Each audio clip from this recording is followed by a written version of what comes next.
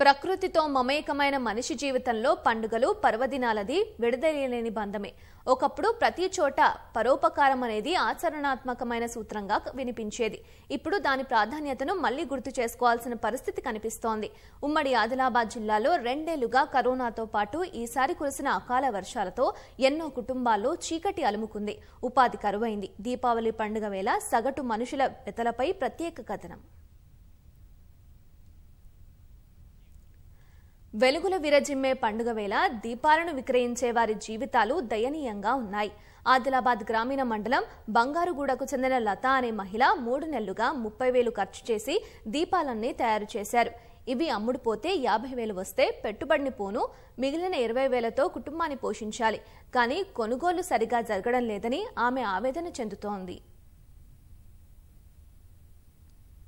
ఈ సార్ మేము నాన్న పెడతాము ఆ గుర్రం లద్ది కొనుకొస్తాము అడిలోకి వెళ్ళి లద్ది లేనిది కాదు మాకు. మరి ఒకనాడు చేసుడు ఒకనాడు మరి వాటిని తయారు చేసుడు.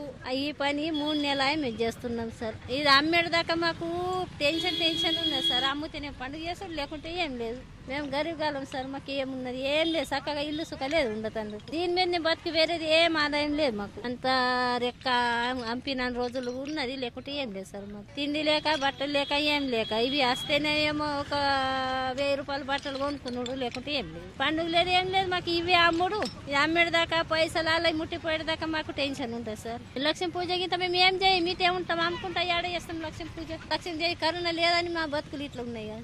ఎవరికి లేదు మా కరుణనే లేదు మా మీద జాలే లేదు. దేవునికి ఓలకనుడు గవర్నమెంట్కి లేదు. ఆదిలాబాద్ వ్యవసాయ మార్కెట్ యార్డ్లో పత్తి అమ్మకానికి వచ్చిన రైతులది మరో గాథ. కాలం కలిసి రాక అప్పులు తప్ప ఆదాయం లేదనే రైతులు ఆవేదన వ్యక్తం చేస్తున్నారు.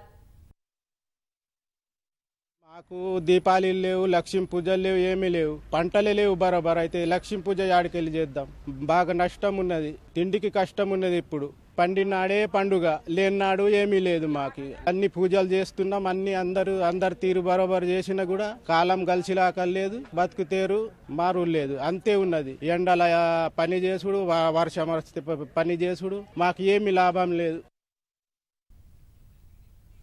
హైదరాబాద్లో టోకుగా లక్ష్మీదేవి ఫోటోలను కొనుగోలు చేసి విక్రయిస్తే కొంత సంపాదించుకోవచ్చనేది ఈ మహిళ ఆలోచన.